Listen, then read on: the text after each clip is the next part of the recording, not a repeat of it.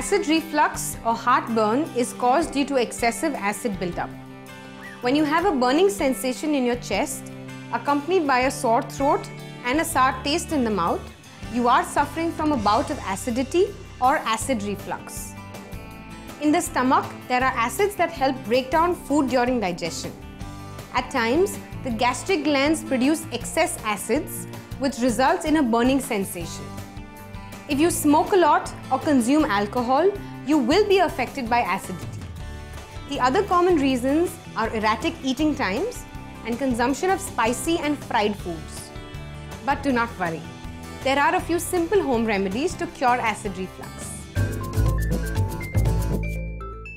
If you get hit by acidity or a burning sensation in your stomach, simply chew 5 to 6 basil leaves after your meal.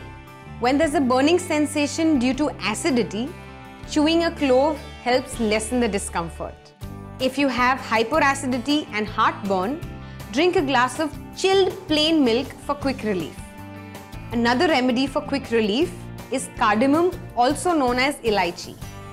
Grind two cardamoms and add in it 250 ml of water. Boil this cardamom water for about 15 minutes. Sieve this water and drink for quick relief. Avoid foods with too much vinegar and black pepper. Stay away from tomato ketchup. Reduce the consumption of chocolates as it triggers and aggravates acidity. To really prevent heartburn, avoid its biggest causes. Stop drinking carbonated and caffeinated drinks like tea and coffee. Eat healthy and take care of yourself. For more such natural home remedies, visit www.homeveda.com.